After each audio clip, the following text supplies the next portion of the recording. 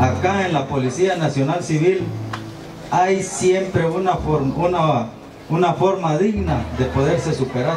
Y yo quiero de que ustedes sean de esas personas que lleguen a ser exitosas y que en un futuro, como les mencionaba, si Dios nos da vida, desde allá afuera nosotros podamos sentirnos orgullosos de ese trabajo que ustedes van a ir a desempeñar a cada una de las unidades. Así es de que a trabajar siempre con entrega, con dignidad y cero tolerancia a la corrupción, por favor.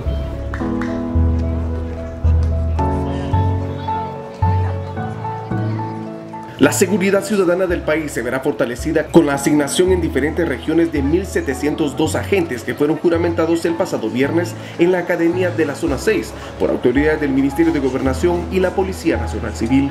El subdirector general de personal de la PNC, Edwin López, informó que los juramentados fueron distribuidos en diferentes departamentos para contribuir al combate de la criminalidad. Los agentes llevan la consigna de salvaguardar la vida y el bienestar de los guatemaltecos, añadió el jefe policial. Estamos hablando de 1.051 compañeros de sexo masculino y 651 personas que son de sexo femenino.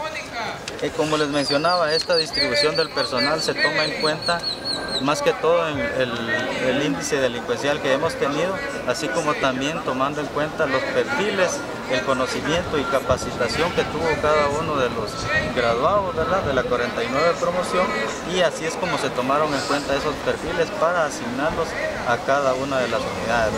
Todos ellos nos van a fortalecer bastante en cuanto al estado de fuerza de personal y sobre todo poder brindar esa cobertura con mayor con mayor eficacia a todo lo que es la República de Guatemala. 100 personas también para lo que es la comisaría 23 de Chiquimula. También tenemos 100 eh, personas para lo que es la comisaría 24 de Zacapa. 150 personas que es para el departamento de Escuintla.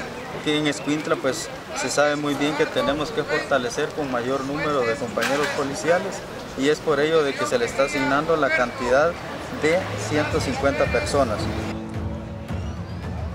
El funcionario explicó que también se fortalecerá la tarea de dependencia de la PNC, como el Departamento de Tránsito, donde prestarán sus servicios 50 recién graduados, mientras 150 irán a la Inspectoría General y 100 más a la Subdirección General de Análisis e Informática Antinarcótica, la Subdirección General de Prevención del Delito e Investigación Criminal, así como la Policía de Mercados.